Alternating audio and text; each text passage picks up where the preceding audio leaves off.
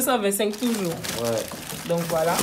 Et puis euh, après, on a notre euh, petit bébé, notre chouchou en, en surgelé. C'est la pâte à claclo. Hmm. Et ça, c'est toi-même qui l'as fait? Oui, ça c'est euh, une, si tu veux, c'est une invention purement, euh, euh, purement moi quoi. C'est moi qui l'ai inventé. Donc c'est assez. Let's go. Elle sait qu'on contrôle la tête, elle sait qu'on contrôle la tête? Aucune crise de jalousie, chaque go connaît sa place. Là je reviens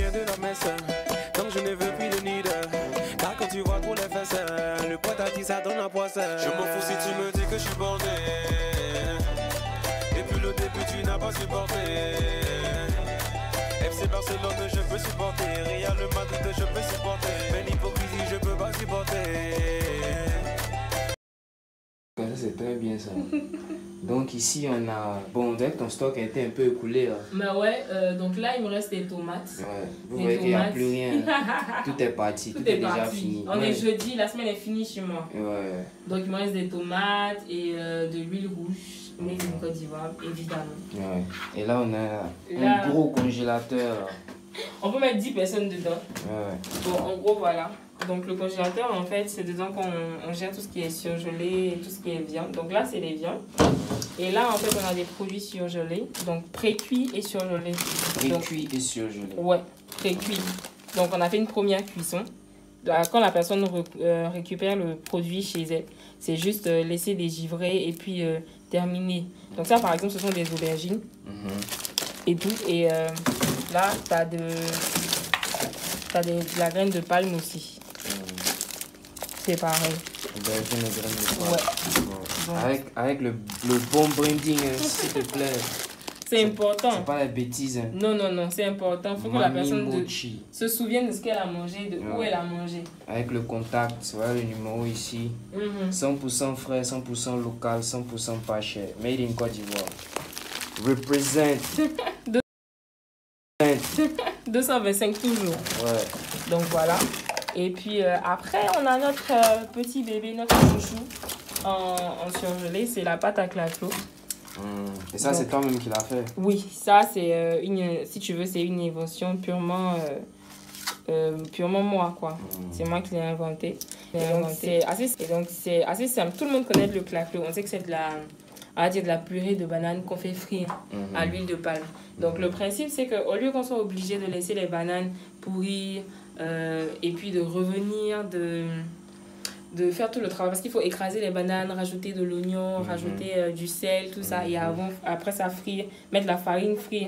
Donc au lieu de faire tout ça, nous on a déjà fait le travail en fait. Mhm. Donc on a déjà rendu la banane en purée, on a déjà rajouté tous les ingrédients qu'il faut. Ouais. Quand vous recevez chez vous, c'est juste laisser dégivrer, rajouter de la farine et puis faire frire tranquillement quoi. Et bon après on est ivoirien, donc on sait tous que le claclo c'est super bon. Ouais. Et, euh, ça se mange un peu avec tout. Ouais. Donc voilà. Pourquoi tu as voulu faire de la pâte à claclo en truc? C'est ce que les clients demandaient? Ou bien c'est parce Alors- que c'est ivoirien typique?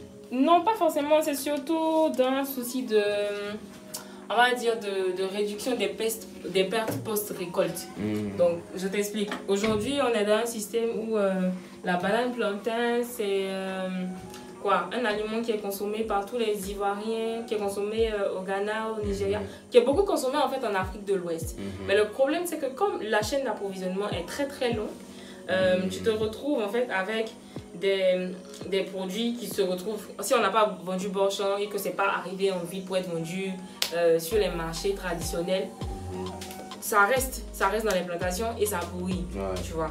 Donc, je me suis dit, après, même, même ici, quand on reçoit la banane, il y a des fois où on reçoit la banane, il y, en- a un peu qui reste. À la maison, si on, a, on en mange, on va manger à locaux, on va manger peut-être foufou, foufou. Mhm. Mais après, il, y a- il arrive que la banane reste jusqu'à ce qu'on on ne puisse plus faire ces plats-là. Mhm. Qu'est-ce qu'on fait? On va pas jeter en fait la banane. Ouais. Et c'est à ce moment-là, on fait du glaclo, tout ça à la maison. Donc je me suis dit, mais en fait, c'est pas si bête. Si je, je réussissais à faire ça de façon euh, un peu plus, euh, on va dire, en sort de, de mon cadre euh, familial, si je fais, j'arrive à commercialiser, c'est très bien parce qu'il y a beaucoup de bananes. Moi, par exemple, chez euh, ma vendeuse de bananes, chez la personne chez qui je m'approvisionne, à chaque fois qu'elle fait sortir ses bananes de son champ, tu as au moins, euh, je sais pas moi, 10, 15, 20, une centaine de sacs, le temps d'arriver de son champ à, à la ville pour pouvoir les vendre. Mhm. Qui sont, déjà mûrs, c'est pourri, elle ne peut pas vendre, elle ne sait pas quoi faire avec. Mhm. Elle est obligée de brader à ville ou bien même de laisser pour que les animaux viennent manger. Mais en temps, si, si moi j'achète ça chez elle, c'est sûr que ça ne sera pas au prix de la banane normale. Mais Mhm. quand j'achète, déjà, ça lui fait gagner de l'argent. Ça réduit les pertes. Et deux, moi je récupère chez moi, je fais de la transformation. Parce que c'est ça aussi. Je fais de la transformation et je, je donne à d'autres personnes qui consomment. Tu vois, c'est un circuit qu'on est en train de mettre en place qui est à la fois euh, sustainable, j'ai envie de dire, Mhm. et euh, qui fait tourner parce qu'il y a le consommateur qui en a pour son argent Mhm. et il y a le producteur aussi qui économise de l'argent en fait. Ouais. Il va pas perdre de l'argent, il fait de la rentabilité. Ouais, ouais. Et après, je sais pas si tu sais, mais par exemple, euh, les pots de banane, on peut les transformer en engrais. Mhm. Donc après, les pots de banane, nous, on les récupère, on les transforme soit en engrais ou euh, en potasse. Ouais, ouais. Et la potasse, ça peut servir par exemple pour la cuisine ou euh, pour faire du savon cosmétique. Donc c'est vraiment une, une chaîne, euh, Rien qui se tourne. perd, tout se tout se transforme. C'est Ouais. vraiment ça quoi. C'est vraiment ça. Et puis bon, après, je...